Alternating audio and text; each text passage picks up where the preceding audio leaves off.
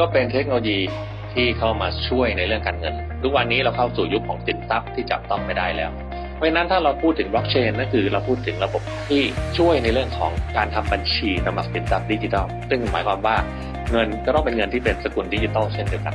สินทรัพย์ของเราที่เป็นดิจิทัลนะครับถูกถ่ายโอนไปยังคนต่างๆ โดยที่แต่ละคนมีส่วนร่วมนะครับช่วยกันจัดเก็บ ความที่เราใช้เงินสดมายาวนานมันมีปัญหาเกิดขึ้นเรื่อยๆโดยที่เราไม่รับรู้ว่านั่นเป็นปัญหา การทำธุรกรรมด้วยเงินสดมีต้นทุนมหาศาลแฝงอยู่นี่เป็นผลพลอยได้ที่เกิดจากบล็อกเชนซึ่งเป็น digital transaction นะครับนั่นหมายความว่าต้นทุนถูกลงลดลงไปอัตโนมัติ ตัวกลางที่ทำหน้าที่ในการเก็บข้อมูลหายไป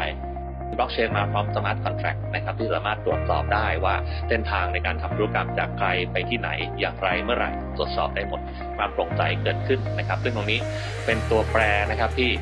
ไม่ได้ใช้กับแค่ digital currency smart contract สามารถประยุกต์ใช้ได้กับการทำธุรกรรมทุกประเภท เมื่อเป็นบล็อกเชนแล้วนะเท่ากับว่าเราสามารถตรวจสอบติดตามนะครับ แล้วก็แก้ไขหากเกิดกรณีผิดพลาดได้เสมอ จุดอ่อนของบล็อกเชนเนี่ยนะครับ มันเป็นเทคโนโลยีใหม่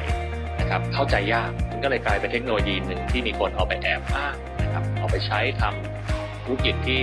ไม่โปร่งใสหลายอย่างเราเอาไปอ้างเพื่อให้ดูมีสีสันด้วยความทันสมัย ซึ่งในความเป็นจริงแล้วเนี่ยบล็อกเชนก็เป็นเหมือนกับธุรกิจทั่วไป ต้องมีที่มาที่ไปชัดเจนนะครับ มีบล็อกเชนเป็น backbone เป็นตัวกลางที่ดำเนินธุรกิจให้ราบรื่นเท่านั้นเอง blockchain generation เนี่ยนะครับ มันไม่มีทางเกิดขึ้นได้ ถ้าสังคมเรายังเป็นสังคมอนาล็อ กถ้าเราถามว่าถ้าองค์ประกอบนะครับของระบบเศรษฐกิจทั้งหมดเป็นดิจิทัล แต่ระบบการเงินยังเป็นเหมือนเดิม มันก็คงไม่ใช่ เพราะฉะนั้น blockchain generation มันมาแล้ว ถึงเวลาแล้วครับที่ต้องมาปรับตัวดูกันว่า เราสามารถเอาไปใช้มันเพิ่มประสิทธิภาพในการทำงานได้อยังไงนะครับเพราะว่าไม่มีอะไรที่จะสามารถรองรับธุรกิจดิจิทัล ได้ดีไปกว่าระบบการเงินดิจิทัลครับ